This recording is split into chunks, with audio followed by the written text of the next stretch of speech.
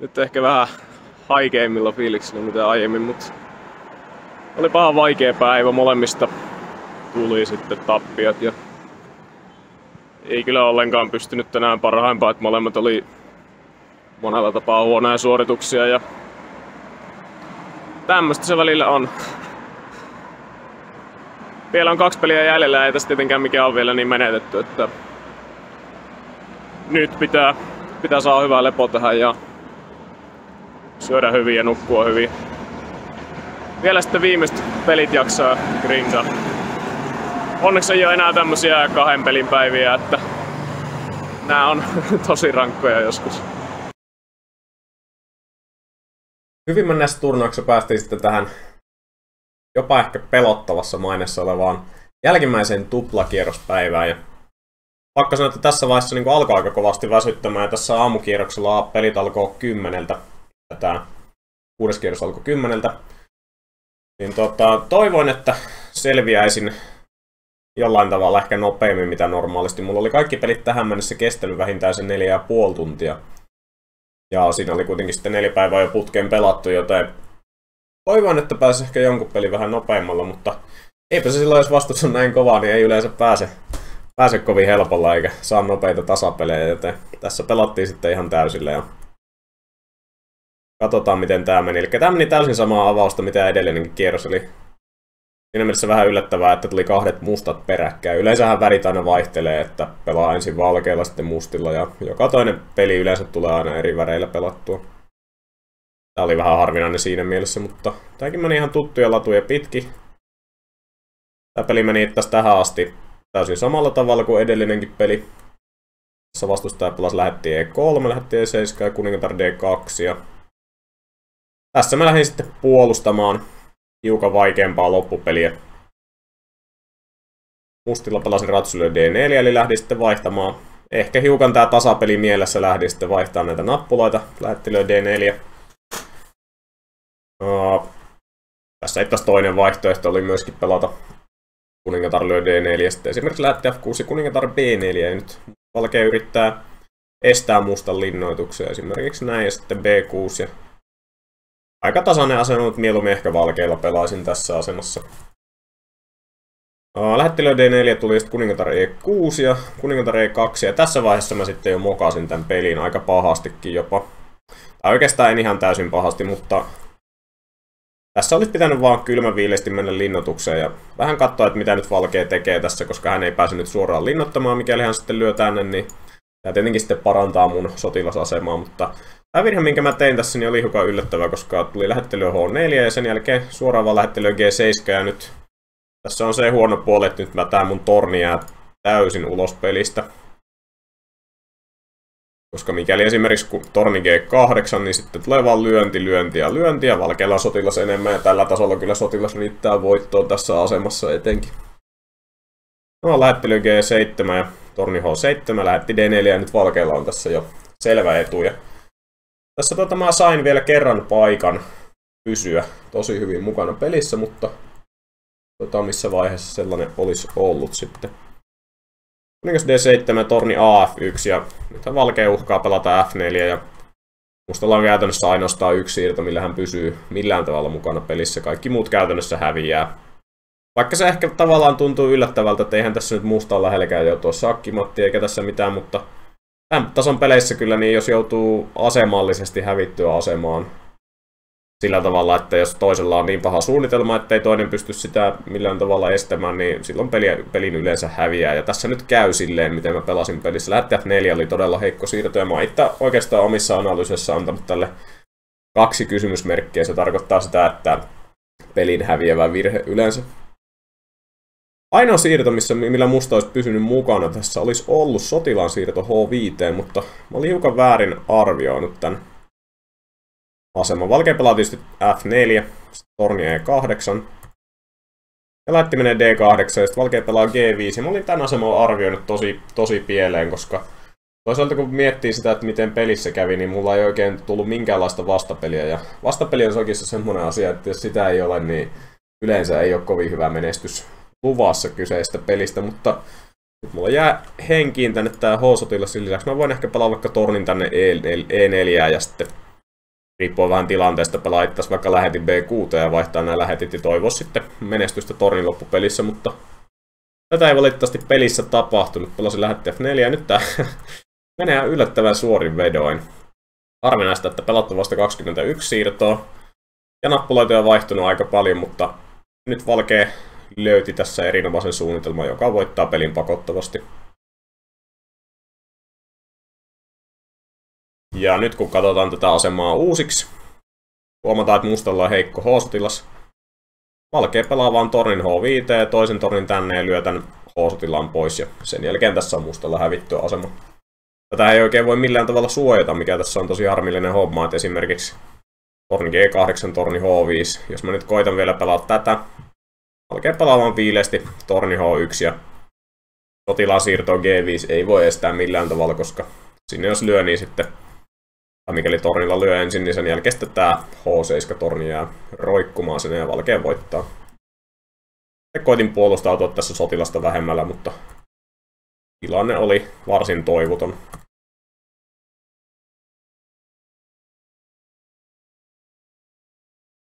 Katsotaan vielä loppusiirrot tästä, mutta niin kuin tässä nähdään, niin mustalla on kaksi sotilasta vähemmän ja ei oikeastaan minkäänlaisia toiveita selviytymisestä.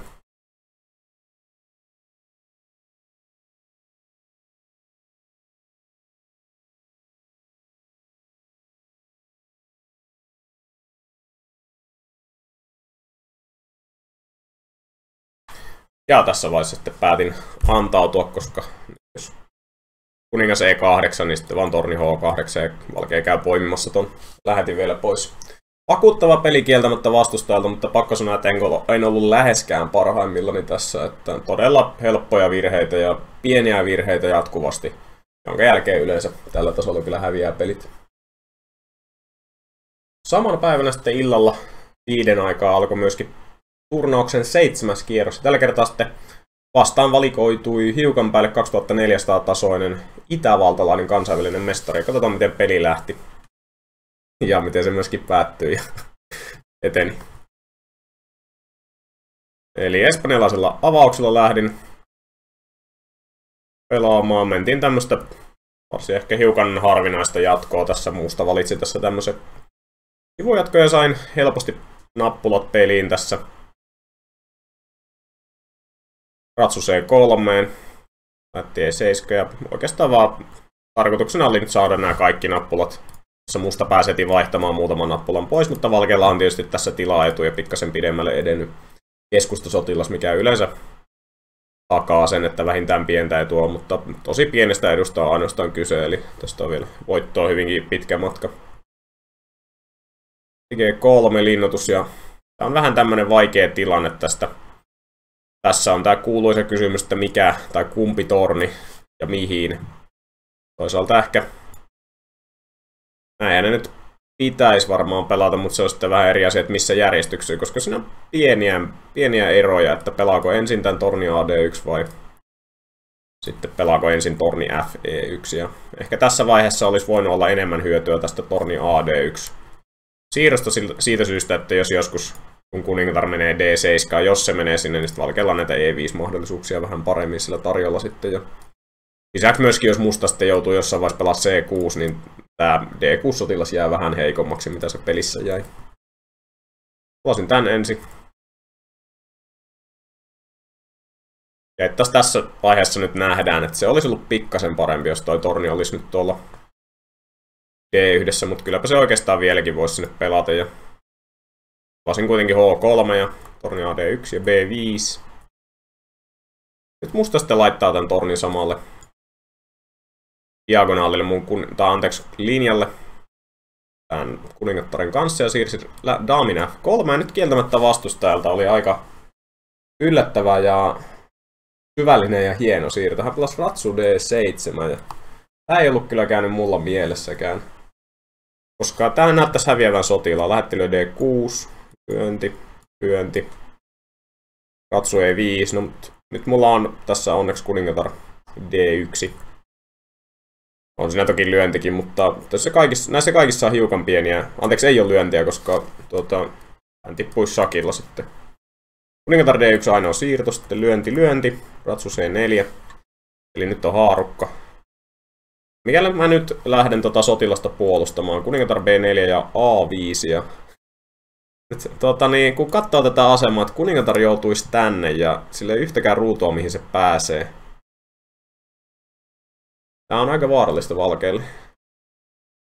Muistelisin, että tietokone myöskin sanoo tässä aseman oleva edullinen mustalle, mutta Tämä nyt joka tapauksessa on hyvin vaikea lähteä kyllä käytännön pelissä varsinkaan. Sitten esimerkiksi kuningatar C5, jos menee, niin musta voittaa tämän sotilaan takaisin. Ja nyt tässä on muutamia huonoja puolia siinä, että tämä valkeen sotilasasema on nyt pikkasen hajalla.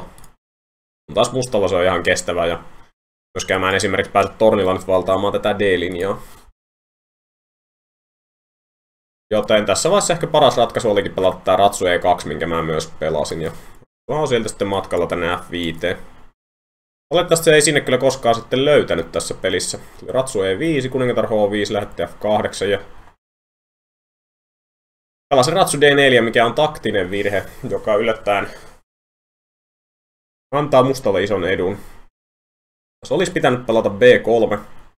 Kohta nähdään oikeastaan, että mistä syystä myöskin. Eli nyt G6.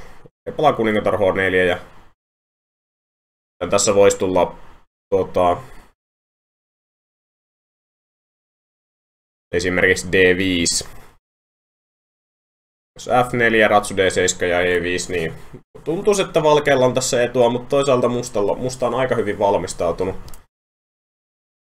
Valkeen erilaisiin siirtoihin. Esimerkiksi F5 näyttää pelottavalta, mutta ei tämä mustankaan paketti tässä niin kovin tuulinen ainakaan vielä tällä hetkellä ole, mutta näin olisi ehdottomasti pitänyt pelata sillä Ratsu D4 ja nyt tulee yllättävä, yllättävä taktiikka. C5.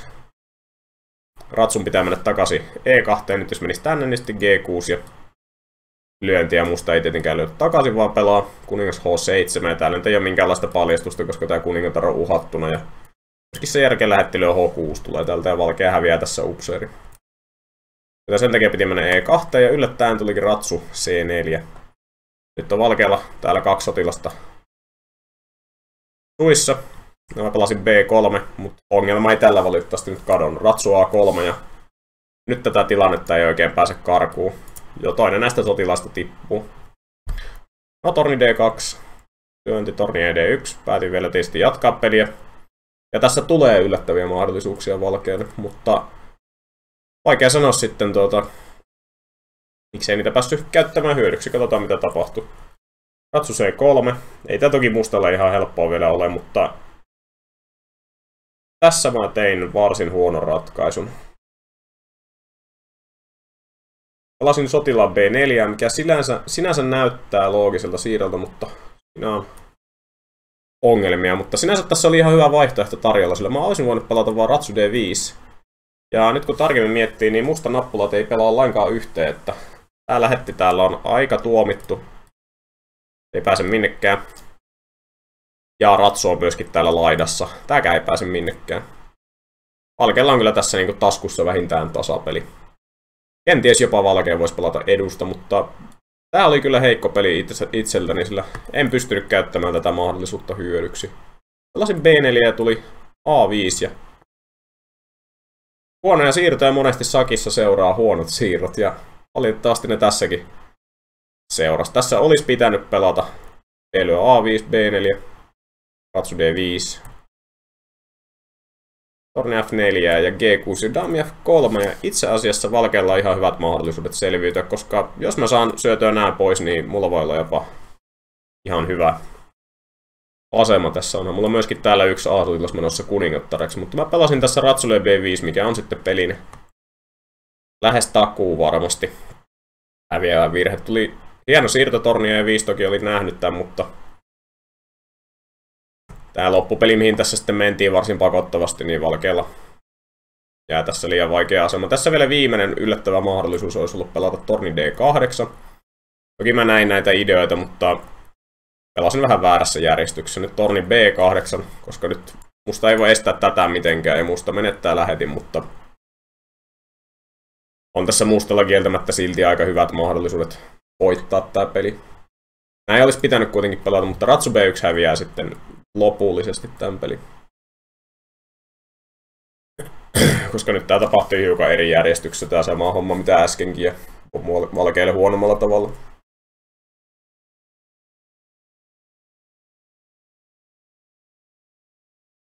No nyt mä koitin, koitin pysäyttää ton sotilaan, mutta Torni C4 ja nyt sitten hieno lopetussiirto, korotus yllättäen. Jos sen lyö, niin kuningatar F4. Haarukoi tästä kaksi nappulaa ja oikeastaan tämän jälkeen sitten suoraan luovutin.